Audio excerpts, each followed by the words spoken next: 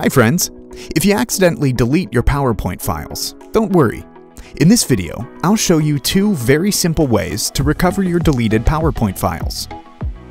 First, you just need to click to open up your recycle bin on your computer, and then search for your deleted PowerPoint file.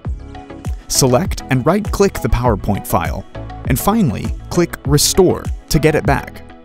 Take note that the restored PowerPoint file will be saved on the original location. If you empty your recycle bin or delete the PowerPoint file by pressing the Shift-Delete keys, your PowerPoint will truly be deleted. To recover a deleted PowerPoint file, we select Deleted Files Recovery mode from the recovery list. Next, you need to choose the hard drive and click the Start button.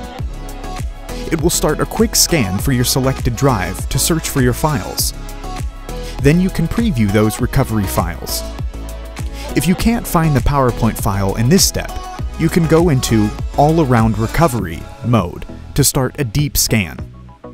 It can help you find more files. After the scan comes to an end, you can find your PowerPoint file and click the Recover icon to get it back. Please save the recovered PowerPoint file in another save location. Thanks for watching! Hopefully this video was helpful.